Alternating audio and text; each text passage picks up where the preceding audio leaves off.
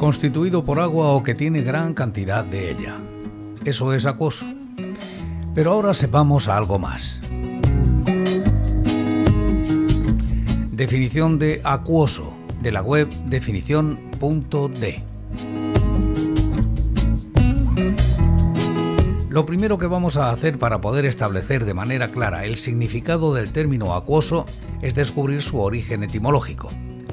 En este caso podemos decir que es una palabra que deriva del latín, exactamente de aquosus, que es fruto de la suma de dos componentes. El sustantivo aqua, que puede traducirse como agua, y el sufijo osus, que es equivalente a abundancia. Este adjetivo refiere a aquello que está constituido por agua o que tiene una gran cantidad de ella. También alude a lo que se parece al agua. El humor acuoso, por ejemplo, es un líquido que se encuentra en el globo ocular por delante del cristalino.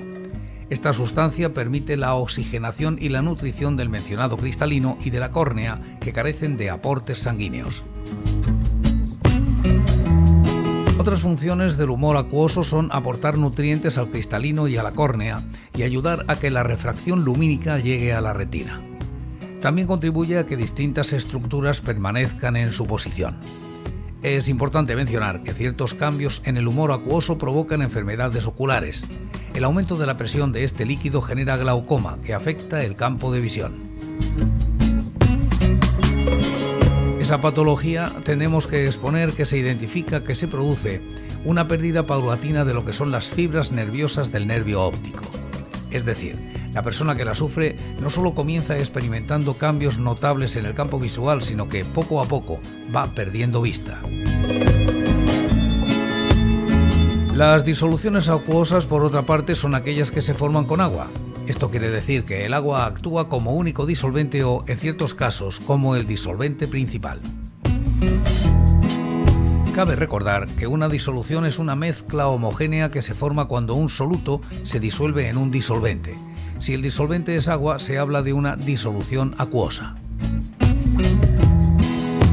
Existe una inmensa cantidad de sustancias que resultan solubles en el agua.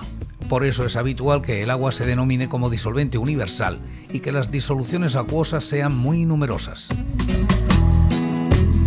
Podemos determinar que las disoluciones acuosas, para que quede claro, reciben ese nombre porque involucran a dos disolventes, siendo el agua el más relevante, el que está presente en mayor cantidad. De la misma manera, no hay que olvidar que las mismas son empleadas a diario en laboratorios e incluso en industrias, destacando especialmente en los que giren en torno a la química. Aunque hemos mencionado que el agua es un disolvente universal, hay que tener en cuenta que existen sustancias que se disuelven mejor en la misma que otras. Así, por ejemplo, podemos subrayar que las más solubles son las llamadas iónicas, como puede ser el caso del cloruro de sodio. Por otro lado, las menos solubles son las sustancias covalentes, entre las que podemos destacar a los metales insolubles. La salmuera es un ejemplo de disolución acuosa.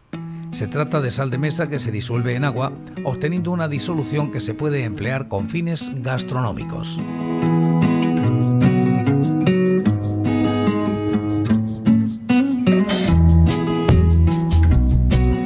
Mañana Mañana más palabras de esta fantástica web que es definición.t.